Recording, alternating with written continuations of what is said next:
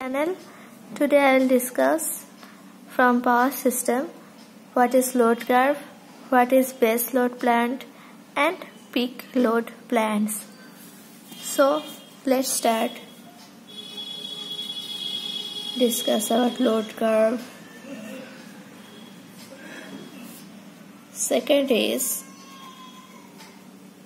base load and third one is peak load. So what is load curve? So let's draw a graph. So this is time, this is load in megawatt okay so take time from 0 4 8 12 16 and 20 and here megawatt let's take 20 megawatt 40 and 6 60 megawatt. Now draw a curve This curve is called load curve. And you can see that in this dotted line below this dotted line there is no curve passing through below this dotted line. That means in this square area the load is constant or you can say fixed. So I draw hash here and this area is called base load.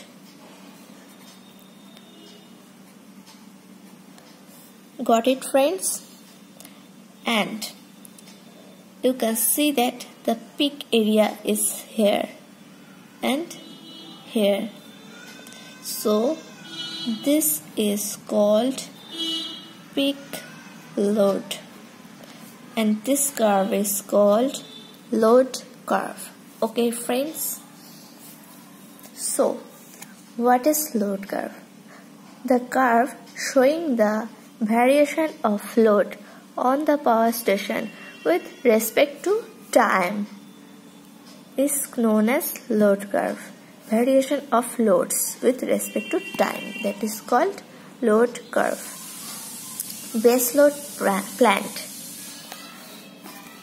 Base load that is constant. And peak load can be variable. So definition is various peak demand of the load over the above base load of station. Means above the base load the variation of load is called peak load.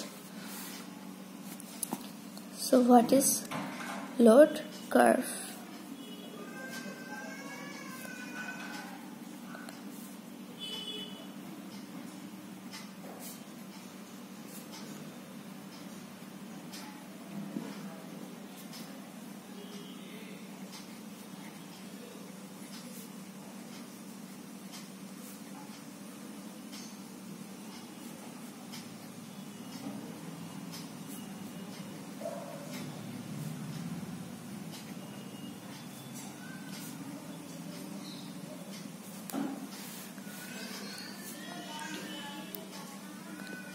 Base load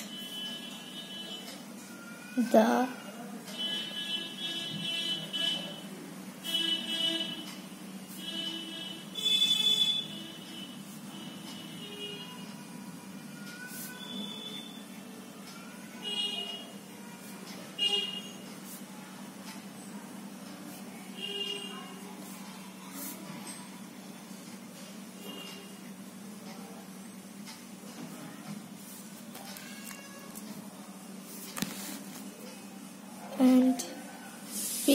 load various peak demand of the load over and above the base load of station